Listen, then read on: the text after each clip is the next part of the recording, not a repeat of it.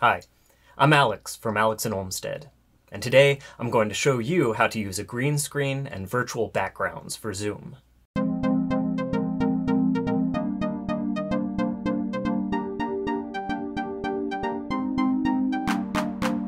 You are probably already familiar with the concept of green screen from TV and film. Usually, producers use it to put their cast in fantastical situations, and it seems like a really expensive option. But actually, it's really easy to do nowadays, and I'm not even really in my kitchen. There are two main ways you can set up a virtual background in Zoom. Uh, if you have a newer phone or a powerful enough computer, you can have Zoom automatically interpret your video feed and replace your background with another image. This technology is pretty neat, but it's not really that accurate. Uh, you can see as I move my head around that my outline is a little blobby, my fingers sort of get cut off. You can instantly tell that I'm not actually in front of the Golden Gate Bridge. At first, I thought the algorithm was looking for moving and non moving objects and replacing the non moving objects with your new background image, uh, but it seems like it's a little more complicated than that. If I hold up a business card, for example, and it's outside of my body, Zoom wants to get rid of it. So while this option exists, it's pretty bad for online performances and kind of distracting for meetings. The other option is using a green screen. Green screen, or chroma key, is a visual effect that composites two images or videos together based on color hues. Now, most commonly, uh, people will use green as their chroma key color because it's so far away from skin tone. But really, you can use any color for your chroma key. There are a lot of professional green screen options available online, but you can make your own by painting a backdrop or hanging a bolt of fabric. I made my green screen with green poster board from the craft section of the grocery store and just masking taped it together on the back. Then I strung it up and hung it from a clothesline about two feet behind me. My green screen uses eight sheets of poster board, but you could use fewer if the green screen were closer to you. I just like having room to move around.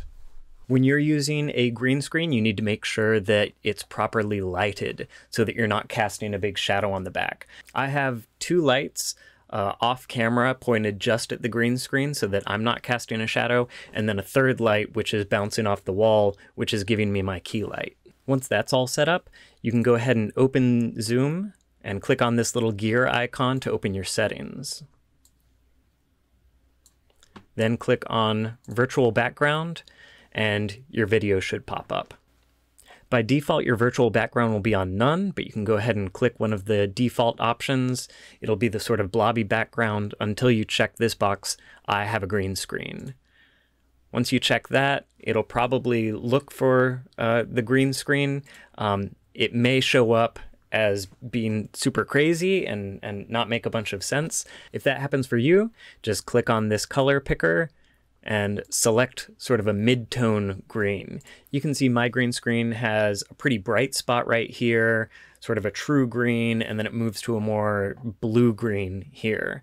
Uh, but if I sort of pick kind of the, the mid-tone, it does a pretty good job interpreting that. Now that our green screen is properly set up, we can start having a little bit of fun with it. You can search around online for a background you like. Uh, this is a really beautiful one from the subreddit backgrounds of sort of a, a galaxy. Uh, all you need to do is right click, save image as, and then save it to your desktop. Then just click on this little plus sign that says add image or video. Say add image, and then go to your downloads and import your recent image. Ah, the galaxy, the wonder of space.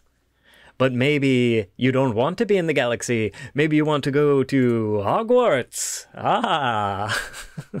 the other really impressive thing that Zoom has built in are video virtual backgrounds. The sort of default ones they have are these kind of northern lights and beach scenes that you've probably seen a lot of.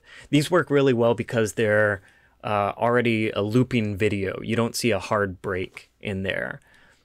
The background that I used at this video was my kitchen, and actually it's a video, not a photo, even though it may not seem totally obvious.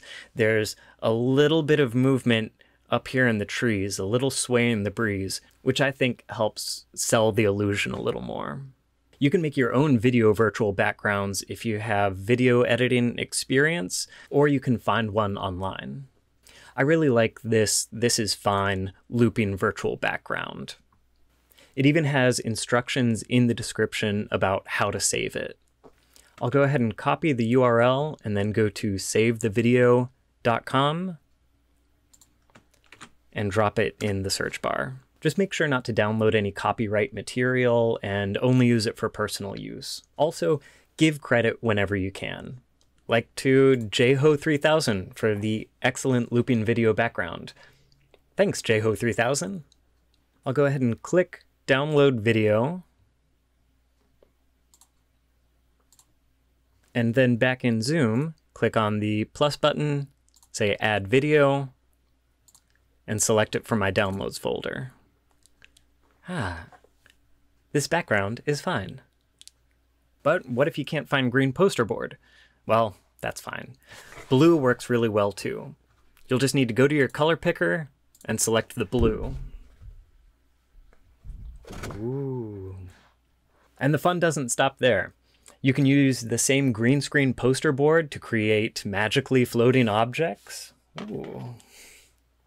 If you're like me and you already have a green morph suit, then you're in luck. But you could achieve this same effect by using a piece of green cloth wrapped around you. I'd like to take a quick second to thank our patrons over at patreon.com, whose monthly support helps us continue to make new work possible. Their support has been especially helpful during this pandemic, when we've had so many performances canceled. If you'd like to join them and get early access to our videos and all sorts of behind the scenes perks, then head on over to patreon.com slash Alex and Olmsted. There's even a link in the description.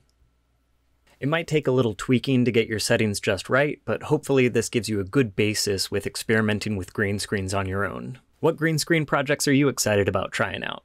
Let me know in the comments below.